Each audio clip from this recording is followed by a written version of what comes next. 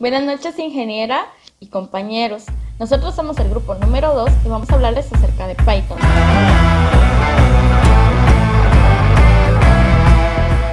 Voy a presentar al grupo a continuación.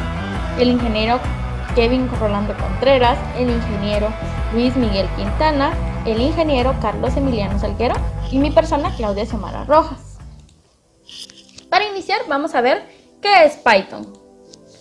Podemos ver que es un lenguaje de programación de scripting, pero vamos a preguntarnos, ¿qué son los lenguajes scripting? Los lenguajes scripting son aquellos lenguajes que usan un intérprete en vez de ser compilados. Es opuesto Perl, lenguaje con el que se rivaliza amistosamente. La mayoría de usuarios de Python le consideran como un lenguaje más amplio y elegante a la hora de programar. Continuamos con qué es Python. Podemos ver que nos permite separar el programa en módulos. El Python nos permite separar el programa en módulos. Este lenguaje tiene una gran variedad de módulos estándar que se pueden utilizar para programar o incluso como una base para aprender a programar en Python. El Python es un lenguaje interpretado a lo que ahorra muchísimo tiempo en la creación de los programas puesto que no es preciso compilar su código. El intérprete que usa el Python se puede utilizar de modo interactivo, lo que nos permite experimentar con este lenguaje mientras programamos. Continuamos con el siguiente que es permitir que podamos programar en varios estilos. Este lenguaje es un lenguaje que nos permite que podamos programar en varios estilos, entre ellos la programación orientada a objetos, la programación estructurada, la programación funcional, la programación orientada a aspectos. A esto se le conoce como un lenguaje de programación multiparadigma. Python es definido como un lenguaje de programación multiparadigma, porque implica que no se trata de forzar a quienes programan a que interioricen un estilo de programación en especial, sino que son varios los estilos que se pueden implementar, entre ellos programación imperativa, orientada a objetos, funcional y otros paradigmas a incluir en extensiones. Por otro lado, Python se caracteriza porque usa tipado dinámico y conteo de referencias al administrar la memoria. Además, se destaca su resolución dinámica de nombres, por ende, enlaza un método y un nombre de variable al ejecutar el programa. Es un lenguaje interpretado, lo que significa que no se necesita compilar el código fuente para poder ejecutarlo, lo que ofrece ventajas como la rapidez de desarrollo e inconvenientes con una menor velocidad. Seguimos hablando de lo que es Python. Dice que es un lenguaje de programación que facilita su extensión. Otro de los objetivos al diseñar este lenguaje de programación es facilitar su extensión. Por esta razón es relativamente sencillo que se escriban módulos nuevos. Estos pueden ser en C o C++. Python puede ser incluido en ciertas aplicaciones que requieran en una interfaz que se pueda programar. Vamos a proseguir con un poco de historia. La historia de Python como lenguaje de programación inicia a finales de los 80 y a principios de los 90 con Guido van Rossum, una historia de 29 años de desarrollo. Vamos a ir haciendo una cadena de fechas para que podamos ir viendo la historia a profundidad. En una Navidad de 1989, Guido van Rossum, quien trabaja en el Centro de Investigación holandés, decidió empezar un proyecto como pasatiempo, dándole continuidad a ABC, un lenguaje de programación que se desarrolló en el Centro de Investigación holandés. ABC fue desarrollado a principios de los 80 como alternativa a BASIC. Fue pensado para principiantes por su facilidad de aprendizaje y uso. Su código era compacto pero legible el proyecto no trascendió, ya que el hardware disponible en la época hacía difícil su uso, así que Van Rossum le dio una segunda vida creando Python. A Guido Van Rossum le gustaba mucho el grupo Monty Python, por esta razón escogió el nombre del lenguaje. En 1991, Van Rossum publicó el código de la versión 0.9.0 en Old Source en esta versión ya teníamos disponibles clases con herencias, manejo de excepciones, funciones y otro tipo de modulares. En esta versión aparece un sistema de módulos adoptando el Modular 3, un lenguaje de programación estructurado y modular, el cual Guido describe como una de las mayores unidades de programación Python. En 1994 se creó ComLang Python, un foro de discusión de Python que marcó un hito en su popularidad y multiplicó su cantidad de usuarios. También, en 1994, llega la versión 1.0, que incluyó herramientas de programación funcional como Lambda, Reduce, Filter y Map. Herramientas que llegaron al lenguaje gracias a Hacker de Lisp, una familia de lenguajes de programación de computadora de tipo multiparadigma. La última versión liberada del Centro de Investigación holandés fue el Python 1.2 en 1995. Van Rossum continuó su trabajo en la Corporación para Iniciativas de Investigación Nacionales en Virginia, donde lanzó varias versiones del lenguaje. Para la versión 1.4 vemos nuevas características, muchas inspiradas en Modula 3 y además soporte building para los números complejos. Para el 2000, el equipo principal de desarrolladores de Python se cambió a bopen.com para formar el equipo de Bopen Python Labs, Corporación para Iniciativas de Investigación Nacionales, lo cual pidió que la versión 1.6 fuera publicado al momento en que el equipo abandonó Corporación para Iniciativas de Investigación Nacional. La versión 1.6, publicada en la Corporación para Iniciativas de Investigación Nacional, incluye una licencia sustancialmente más larga que la de sus versiones anteriores publicadas en la Corporación para Iniciativas de Investigación Nacional.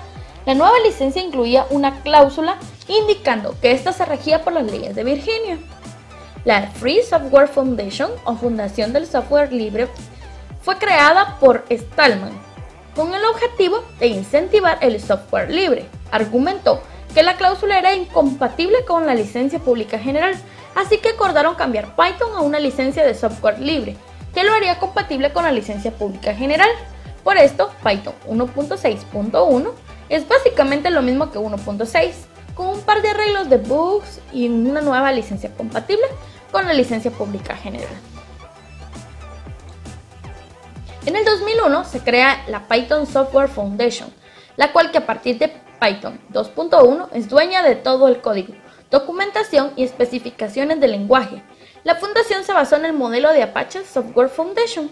La última gran actualización de Python fue en el 2008 con el Python 3.0 con el PEP 3000, diseñado para rectificar fallas fundamentales en el diseño del lenguaje. La filosofía de Python 3.0 es la misma las versiones anteriores. Sin embargo, Python como lenguaje ha acumulado nuevas y redundantes formas de programar una misma tarea. Ahora veremos cuáles son las áreas del Big Data que abarca Python. La Big Data es tan amplia que tiene tanta información que para trabajar en ella lograr sacar información estructurada y analizar concretamente los datos que existen, muchas maneras de hacerlo, pero algunas son más eficientes que otras y por supuesto cada día van evolucionando. De entre todo lo referente a los análisis de datos, el lenguaje de programación juega un papel muy importante, pues es la herramienta que permite hacer el análisis de manera correcta, además de dar otras opciones a los desarrolladores. La complejidad del Big Data y del Business Analysis es siempre alta, sea cual sea la profesional que desee aprender. Sin embargo, hay herramientas que son apoyo crucial para los desarrolladores, programadores y profesionales especializados en el tema que les permite mejorar sus procesos, simplificarlos y hacerlos también más eficientes. Un claro ejemplo de esto es Python, lenguaje que se ha ganado a muchos ya gracias a lo fácil de aprender, manejo sencillo y gran eficiencia a la hora de analizar datos. Python está por encima de sus competidores ahora gracias a que en comparación a otras plataformas es mucho más sencillo de entender. Muchos profesionales en el área ya lo manejan y esto ahorra mucho tiempo en capacitación, entrenamiento al talento humano que conozca este programa por este u otros acercamientos. Y en comparación a los nuevos talentos a los que hay que entrenar en un lenguaje específico o más complejo que este. Otra de sus ventajas es lo accesible que es siendo de nuevo muy útil, ya que muchos desarrolladores están familiarizados con él. Y al momento de traer nuevos integrantes, la compañía ya no es necesario gastar mucho tiempo de entrenamiento de la plataforma. A continuación, les dejaré a mi compañero el ingeniero Kevin Contreras. Muchas gracias. ¿Qué tal compañeros? Retomando la exposición hablaremos sobre lo que es las plataformas que soportan Python. Como mi compañera ya lo dijo anteriormente, Python es un lenguaje de programación con una popularidad creciente que radica en distintos factores. Su código limpio, que le permite ser un lenguaje bastante didáctico, es tan solo uno de sus atributos, ya que otros profesionales le dan mucha importancia a la versatilidad que tiene. dado que es posible desarrollar proyectos de vanguardia con este lenguaje en cualquier sistema operativo. Bueno, ahora hablaremos sobre lo que es la plataforma Linux. Linux y su potencial línea de comandos facilita el trabajo en Python y se puede decir que con un gran porcentaje de programadores adoran trabajar en este sistema operativo, que parece que con sus características estar orientado a personas con conocimientos técnicos en código. También hablaremos sobre las ventajas de Python en Linux. Excelente rendimiento para llevar a cabo los procesos de desarrollo. Es de código abierto, perfecto para realizar proyectos comerciales. Su administración sencilla y cómoda para la instalación y actualización de software. Y lo mejor de todo, es completamente configurable e intercambiable. Sin embargo, también posee algunas desventajas que es importante señalar. Al ser un software libre, el soporte se basa en el apoyo de la comunidad. No es el mejor en comparación con otros sistemas operativos de interfaz visual. La configuración es muy tardada ya que se configura desde la terminal. Siguiendo con las plataformas, encontramos Windows 10, que apenas en pocos años se fue apoderando de los ordenadores y portátiles de muchos programadores en el mundo, siguiendo muy de cerca a Linux. Las ventajas que posee Windows 10 son las siguientes. Compaginación con cualquier tipo de software fácil de utilizar, perfecto para el desarrollo.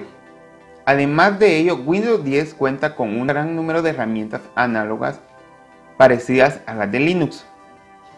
Asimismo, como posee buenas características que favorecen a la programación en Python, también tiene grandes desventajas y las siguientes son, deberás pagar por una licencia anual ya que este software es de pago.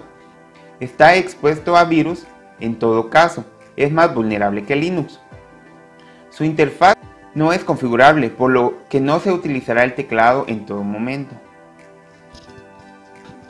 Además de Windows, también podemos encontrar otros sistemas operativos que muchos programadores aman. Es Mac OS, el cual es un sistema bastante exclusivo, el cual para ser utilizado debes contar con un equipo Apple. Pero veamos un poco de lo que nos ofrece Mac a la hora de programar en, lenguajes como Python. Las ventajas que ofrece el sistema operativo Mac son las siguientes. Posee un excelente terminal Unix, cuenta con una muy buena interfaz gráfica de usuario para el desarrollo y el manejo del mismo. Además es bastante limpio y minimalista. Sin embargo, posee muchas cosas que no están a favor en este sistema operativo las cuales son las siguientes. Total exclusividad a los equipos de Mac. No es configurable, por lo que estás privado de hacer lo que este te permite. Al momento de programar es muy probable que te quedes sin memoria RAM de forma muy rápida. Muy bien, ahora hablaremos sobre los tipos de archivos de entrada y salida. Los ficheros en Python son objetos de tipo file creados mediante la función open. Esta función toma como parámetros una cadena con la ruta de fichero abierta que puede ser relativa o absoluta, una cadena opcional indicado en el modo de acceso. Si no se especifica, se accede en modo lectura. Y es, por último, un entero opcional para especificar un tamaño de buffer distinto del utilizado por defecto. Salida de pantalla. La forma más sencilla de producir una salida en Python es utilizar una sentencia print donde se puede pasar cero, una o más expresiones separadas por comas y ver el resultado en pantalla de la siguiente manera. En pantalla estamos mostrando el código print, que es una sentencia el cual nos deja visualizar el comentario que el usuario Diego realizó. Ahora hablaremos sobre la lectura de entrada con teclado. Python proporciona dos funciones integradas para leer una entrada estándar de teclado y estas son Input e Input. La función Input lee una línea de entrada y la devuelve como cadena. Como estamos viendo a continuación, la URL es igual al, al donde ingresamos la dirección de nuestro sitio de blog y esta la va a imprimir en pantalla con la sentencia print. Función input. La función input es igual que la función RAD input, excepto que input asume la entrada como una expresión Python válida y nos devuelve el resultado en pantalla. Lo que quiere decir esto que como estamos viendo en el código es que esta no la visualizar en el momento, lo cual no en la anterior no era así. Buenas noches, siguiendo con el tema de Python veremos las versiones que ha tenido a lo largo del tiempo, desde la primera publicación hasta la actualidad. Y veremos que Python usa dos versiones a la vez. Eh, actualmente se encuentra Python 2 y Python 3. Veremos la primera publicación que fue en 1991 por el creador Barnes Rosen, que publicó su versión 0.9.0 y de ahí en 1994 aparece la versión 1.0. De ahí surge la versión 2 que fue en el 2000 y la versión 3 en el 2008. En la versión 1, las características más importantes incluidas en esta publicación fueron las herramientas de programación funcional, Lambda, Reduce, Filter y Map. Van Rossum ha comentado que Python adquiere Lambda cortesía a un hacker de Lips que extrañaba y envió patches que funcionaban. Para la versión 1.4 Python adquirió varias características nuevas y notables entre los argumentos por nombre inspirados por Modula 3, que incluyó built-in para números complejos. El Python 1.6 eh, lo adquirió BOpen en el año 2000. En el equipo principal de desarrolladores de Python se cambió para adquirir la nueva versión que no estaba aceptada. En la versión 2 apareció en el 2000 y tiene la característica funcional de Haskell, el programa que genera listas. La sintaxis de Python para la construcción es muy similar a la de Haskell, salvo por la referencia de caracteres de puntuación y la preferencia de Python por palabras claves. Además, un sistema de recolección de basura capaz de recolectar referencias cíclicas. Apareció la versión 2.1 que fue en el 2001 y fue trabajo derivado de Python 1.6.1, así como también Python 2.0. Su licencia fue renombrada Python Software Foundation License. Todo el código, documentación y especificaciones añadidas desde esa fecha de lanzamiento de la versión alfa de Python 2.1. Para la versión 2.2 fue la unificación de tipos Python escritos en C y las clases que son escritas en Python. La unificación de, esos dos dentro, de una jerarquía logró un modelo orientado a objetos de Python puro y consistente. También fueron agregados los generadores que fueron inspirados por el lenguaje Icon. La última versión de la última versión conocida es la 2.7.15 que fue publicada en mayo del 2018. Después surge la versión 3.0, conocida como Python 3000, y fue diseñado para rectificar ciertas fallas fundamentales en el diseño del lenguaje, y que no podían ser implementados mientras se mantuviera la compatibilidad con la serie 2.x. 2.x se le llama a la versión original que, empieza del 2 pero tiene sus versiones. El principio que guía Python 3 es reducir la duplicidad de características eliminando viejas formas de hacer las cosas. Y la última, la última versión conocida es la 3.7.1 que, que se publicó en, en octubre del 2018. La filosofía de Python 3 es la misma de las versiones anteriores, sin embargo Python como lenguaje ha acumulado nuevas y redundantes formas de programar una misma tarea. Lo que está en rojo significa que son las versiones que han quedado obsoletas. Precios. Python es un programa open source y el software es gratis y está avalado por la licencia de Python Software Foundation License. que tiene como licencia el software permisiva al estilo de licencias BSD, que cumple con los requisitos OSI para ser declarado software de licencia libre y compatible con las licencias GPL. PSFL es la licencia aprobada por Open Source Initiative, que es una organización dedicada a promoción de código abierto.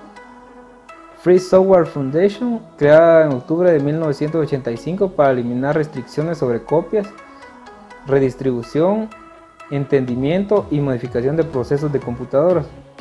La GNU General Public License protege los programas liberados como parte del proyecto GNU. Copyleft, izquierdo de autor.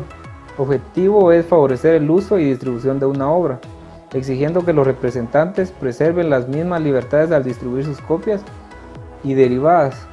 Eh, los dejo con mi compañero Carlos que nos va a explicar un ejemplo de, de todo lo que hemos visto.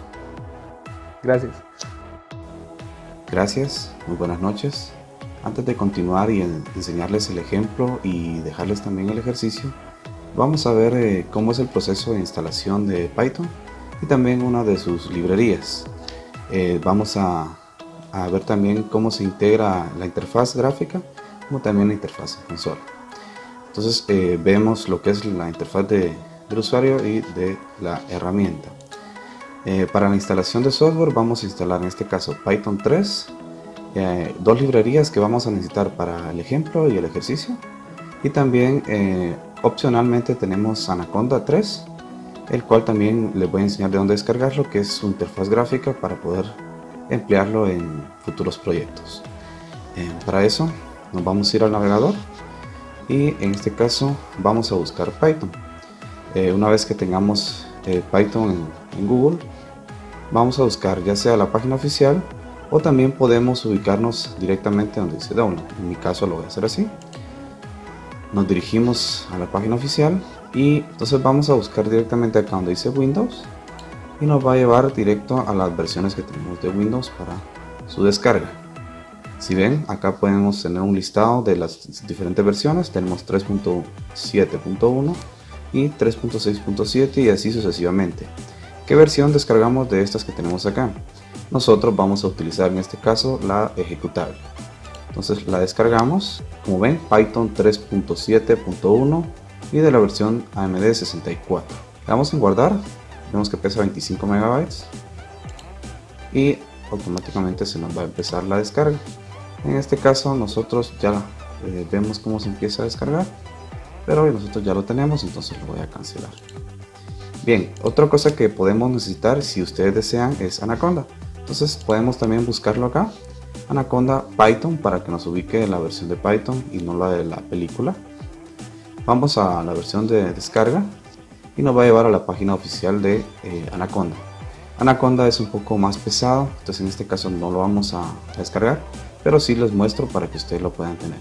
Buscamos la versión de Windows, nos lleva a este apartado donde tenemos la versión 3 y la versión 2 de Python. Eh, ya dependerá de qué versión quieran usar. Yo recomiendo la última versión porque es la que está más actual y Python 2 está quedando obsoleta.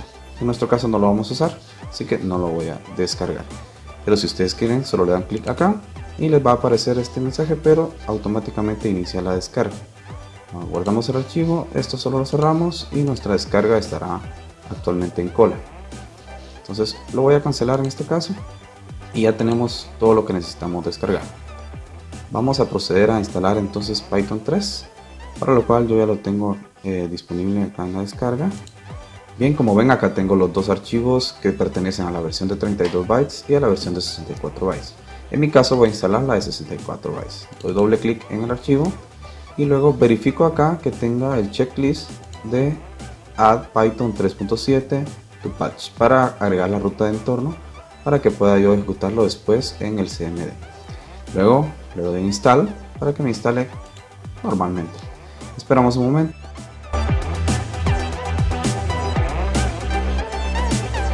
Bien, ya tenemos terminado la instalación y vamos a verificar entonces que esté activado el patch, si no habrá que agregarlo manualmente. Para eso nos vamos a clic secundario en el inicio, nos vamos a sistemas, buscamos acá abajo información del sistema. Buscamos configuración del sistema, variable de entorno. Buscamos acá en el patch, le damos en editar. Y vemos que está agregado Python 37 y 37 script, la cual nos va a servir para poder ejecutarlo desde el CMD. Entonces sin ningún problema vamos a cancelar, cancelar. Si en dado caso no lo tuvieran deberán agregarlo manualmente. Para continuar vamos a ejecutar entonces el CMD para instalar las librerías. Vamos en búsqueda y buscamos CMD, símbolo del sistema, ejecutar como administrador. Le decimos que sí y iniciamos acá. Para poder eh, instalar las librerías vamos a primero instalar la API para poder descargarla desde internet. Para lo cual entonces vamos a ejecutar el comando que tengo acá en la presentación. Será este que está acá. Python-m pip install-u mayúscula espacio pip escribamos entonces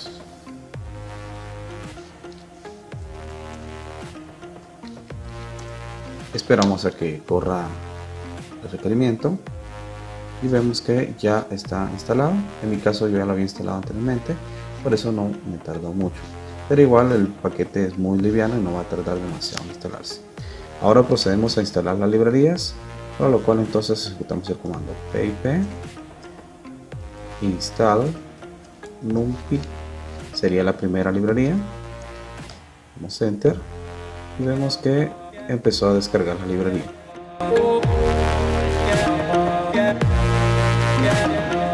Bien, vemos que ya terminó.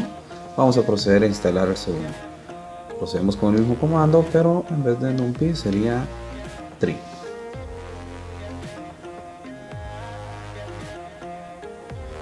procede a instalar la colección de tree en este caso eran varios archivos varias varios archivos de la librería pero vemos que ya lo instalaron todo ok como ven ya tenemos eh, perfectamente instalado las librerías que vamos a utilizar para el ejercicio siguiente.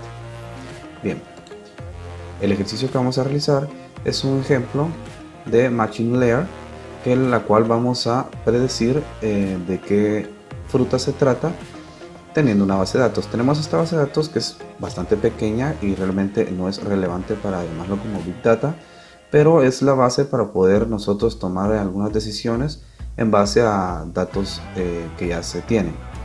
Abrimos entonces desde inicio, nos vamos y incluso ya vemos que agregado recientemente aparecen tres eh, aplicaciones IDLE de Python, Python que es el módulo de documentos y el mismo Python que es un manual. Además también nos incluye Python 3.7 que es la consola de comandos. Vamos a abrir el IDE, que no es realmente un IDE, sino una consola de, específica funcionalidad para eh, Python. Y vemos que nos está corriendo Python 3.7.1 sin ningún problema. Y al ver estas tres líneas vemos que está corriendo y esperando instrucciones. Para poder hacer el ejercicio, eh, lo que tenemos es algunos estados, algunos datos en este caso tenemos peso, textura y una etiqueta. son datos que se han obtenido con respecto al tiempo y representan a los datos que son históricos, eh, los cuales nos sirven para tomar decisiones. En este caso vamos a realizarlo por medio de un árbol de decisiones. El código que vamos a ejecutar yo lo tengo acá, pero vamos a irlo eh, incrustando poco a poco para que veamos viendo qué es lo que hace cada uno de ellos. Y lo primero que vamos a hacer es importar la librería eh, NumPy que nos va a servir para realizar eh, algunos seguimientos de lo que son los datos. Import NumPy. Vemos que se corre perfectamente ya que ya teníamos cargada la librería anteriormente. From import y esta es la tree aunque no se ve vamos a ahí vemos que está. Vamos a enter y tenemos un problema. Bien parece que nos hace falta una librería más. Vamos a importar esta librería también. Se me había olvidado. Entonces abrimos el cmd y escribimos pip install Slayer. Esta librería es un poco más pesada, vamos a esperar a que se instale completamente. Voy a adelantar el video.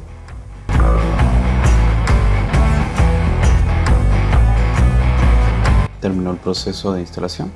Vamos a proceder entonces a continuar nuevamente.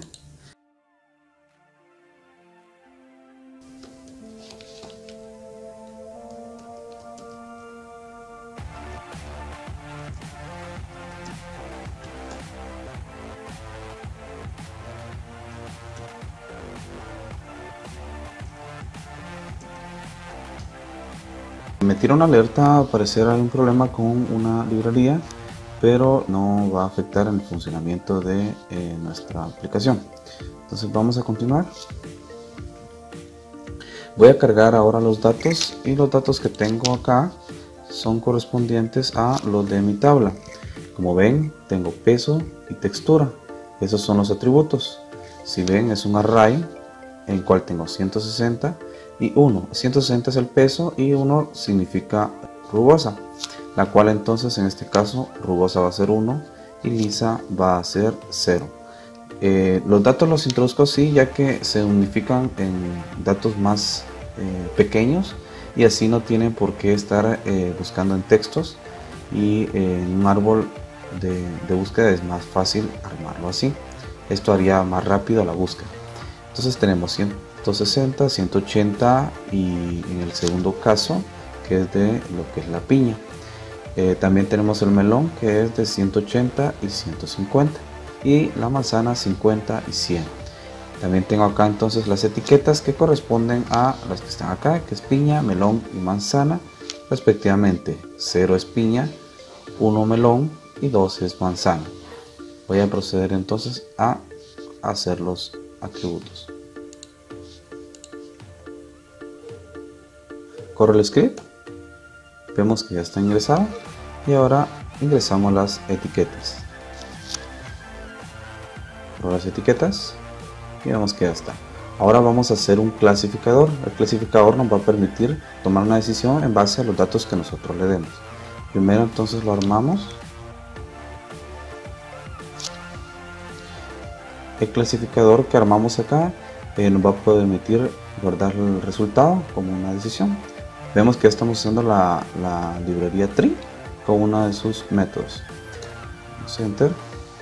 Y ahora vamos a eh, traer ese resultado por medio de unos atributos unos datos que le vamos a asignar.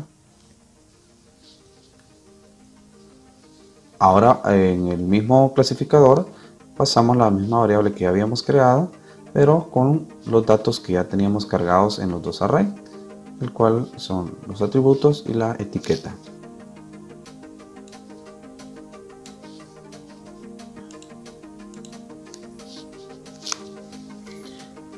Ahora con print vamos a imprimir el resultado que nos traiga para el clasificador en donde le mandamos los datos predictivos en un array donde mandamos 150 que sería en el caso de el peso y 0 que sería en el caso de la textura. En este caso el 0 ya sabíamos que era liso verdad bien. Y nos regresa 1 en el caso de 1 era el melón ¿qué dato le estábamos pasando? pues le estábamos pasando 150 y 0. Si nos vamos a la tabla, 150 lo tenemos acá y 0 era eh, en este caso lisa. Vemos que era lisa. Entonces nos está usando el melón que es precisamente el que tenemos acá. ¿Qué pasa si le metemos otro dato? Pues en el caso repetimos otra vez y en vez de 150 vamos a cambiarlo a un valor que no tengamos acá que sería 170 eh, y vemos qué resultado nos da. Como ven siempre melón ya que está más o menos en esta área donde eh, predice que es lisa y pues está en un intervalo de, esto. Entonces nos dice que eh, posiblemente sea un melón ¿Qué pasa si damos un resultado más bajo? Entonces posiblemente ya se nos pase a manzana. probemos con un peso menor. peso de 70. Tenemos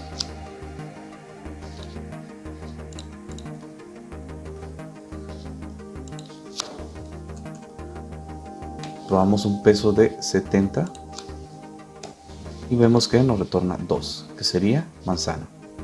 Muy bien. Para proseguir entonces, les dejo este ejercicio muy sencillo, muy simple, eh, basado en el ejemplo que les acabo de enseñar. Entonces, eh, esperamos que no se les dificulte a la hora de realizarlo. Bien, muchas gracias por su atención.